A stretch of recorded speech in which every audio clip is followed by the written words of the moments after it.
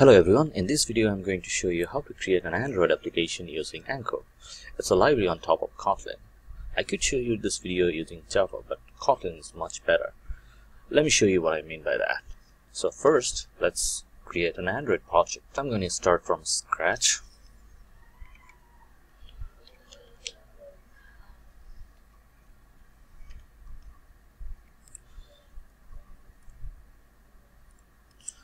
Going into default. So this is the basic application we all love and know. The onCreate method and the default layout. Now let's change the libraries. Before that I'd like to let you know that you need two plugin. Well you could do without plugin but plugin will make your life much easier. One is Kotlin and another one is Kotlin uh, extension function.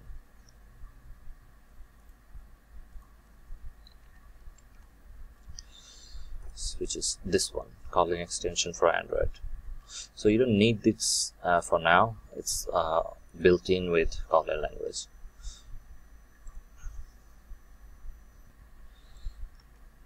so now first let's add the plugins. Next in the source set let's add a Kotlin folder. Next in the dependencies next we're gonna add the build script.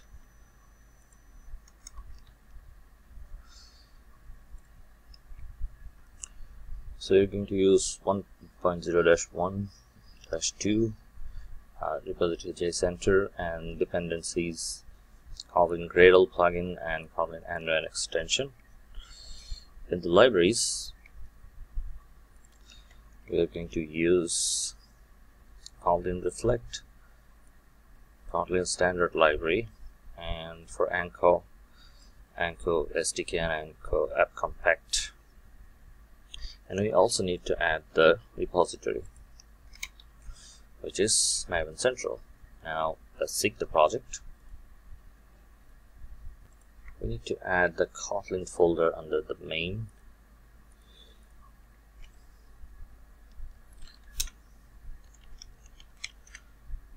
Okay.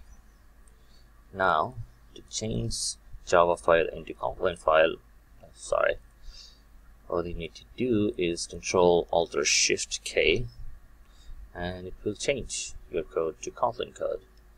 Now move it to your Kotlin folder, hit refactor,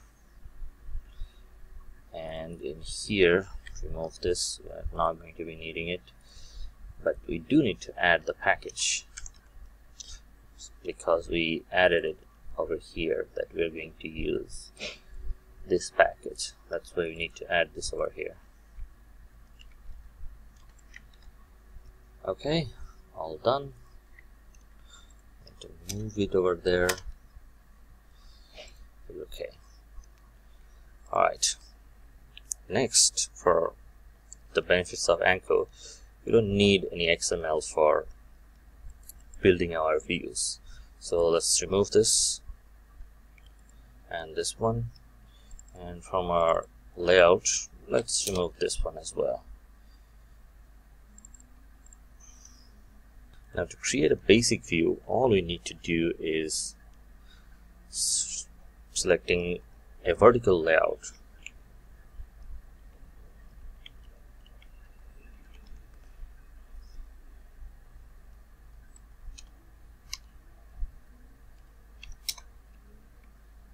Let's import it. Next, let's add component to it. For example, let's add a edit text. So to add an edit text, all you need to do is edit, write edit text. That's it. To add a button, all you need to do is say button. Give it a value, say OK. Now write and see into action. Let's select the emulator so it's my emulator. And we have our application. So it's that easy. Now let's do something with this. So we want to show what's inside this what we type over here. And we click OK. So let's do that. So suppose we give this a name like val name just something and then what we want to do? So on click we want to print our show a toast. So these are all built-in function. I'm not writing anything from here. So let's import it. Okay let's complete it first. For some reason it showed error. Anyway and then to access the variable name all you need to do is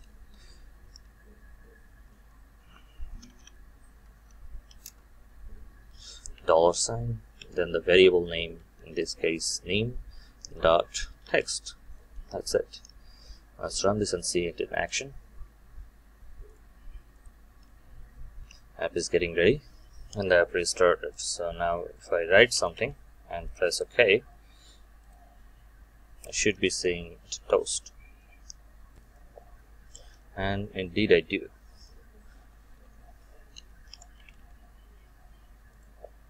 Okay. Now let's do something advanced for example. Let's sorry test and with relative layout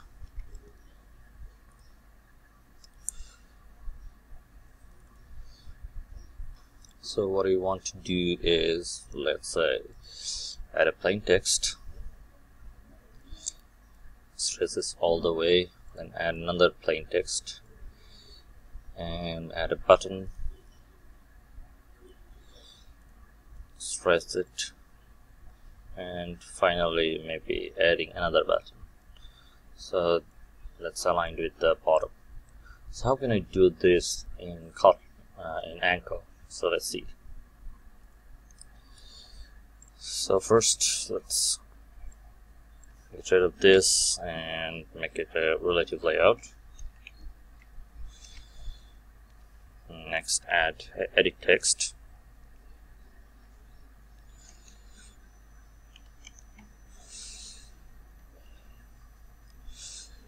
Now we can set ID to it. Maybe ID 1 I could add hint.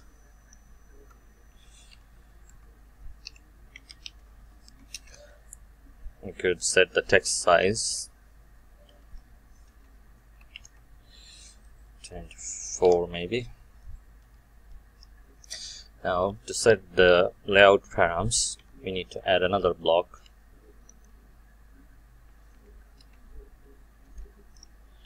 So here we can say where it's going to be. It's going to be aligned to top.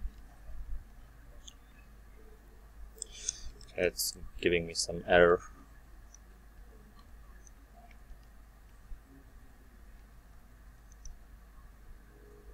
It will be L param, not layout param. So it's going to be aligned to top. It's going to be uh, aligned to left it's going to be aligned to right. Okay that's all for it. Next we're going to add another uh, text. Yeah another text. So let's add edit text.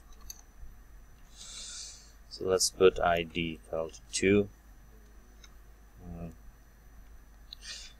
put hint maybe age well, let's go with the default in this case. Set the L param.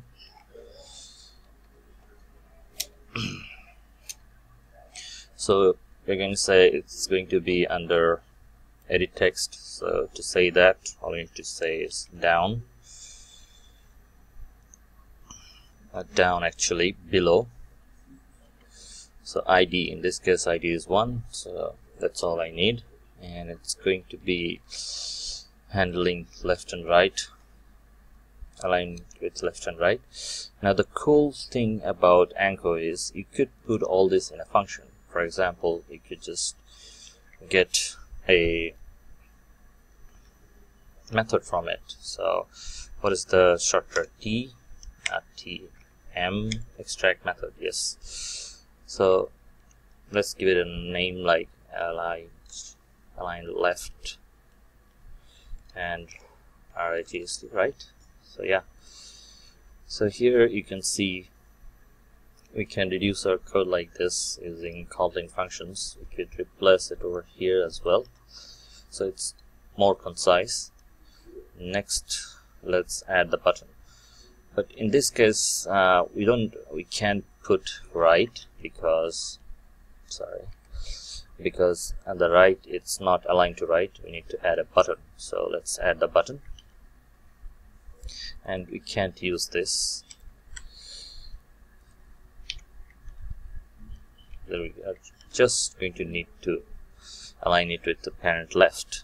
So next add the button.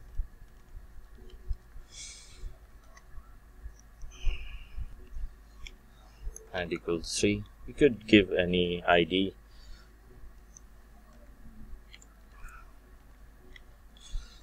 params. So it's going to be uh,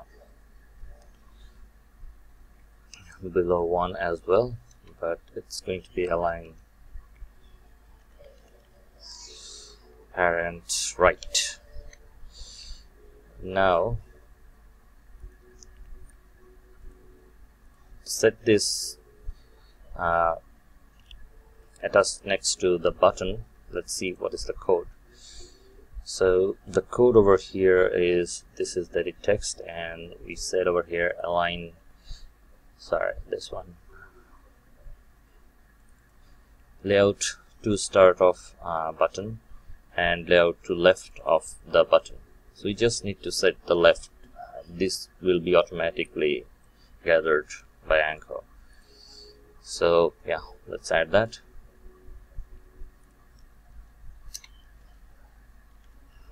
left off the ID in this case is 3 so you're done over here. Let's run this and see what happens. So yeah that's what happened over here. You get the name age and the button with your Kotlin or Anko code. So the button doesn't have any level because I forgot to add it over here so you can add this level. As set or something. And yeah debug it. Sure enough you see the message so yeah that's it guys. That's all I wanted you to show in this video. How you can get rid of your XML file for designing. And you can reuse your code like this so you have multiple element where you need to set the line left and right. You could use function. Uh, you could pretty much uh, do everything programmatically. So that's a really cool feature uh, by Anko. So yeah. Bye bye guys. That's all for now